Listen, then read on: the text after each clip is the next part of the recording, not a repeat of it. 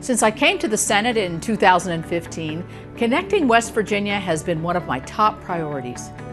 That's because reliable and affordable broadband is the key to creating so many new opportunities for West Virginia families, students, and job creators. One of my first initiatives as a United States Senator was launching my Capito Connect plan to help bridge the digital divide in our state. More federal dollars are going into the effort to improve broadband internet access in the Mountain State. Now, it's no secret that West Virginia has some of the worst broadband connections in the nation. The plan has served as an excellent roadmap to bringing affordable high speed internet access to homes, businesses, and classrooms across West Virginia.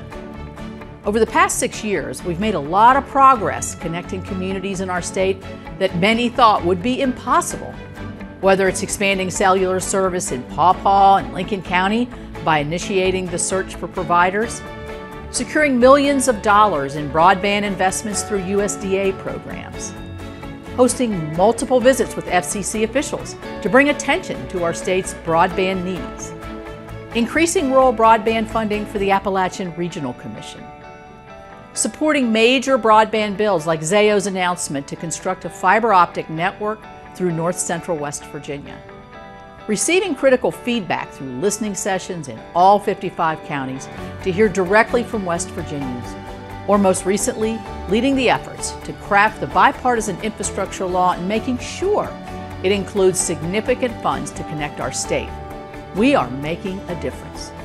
Senator Shelley Moore Capito is at the forefront of getting all West Virginia online. West Virginia Senator Shelley Moore Capito is on a mission to make sure every kid is connected. But there's always more work to be done, and I need your help.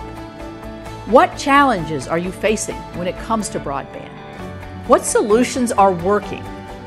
I've always said that if we can get a man or a woman on the moon, we can get internet in the mountains. Now I need to hear from you.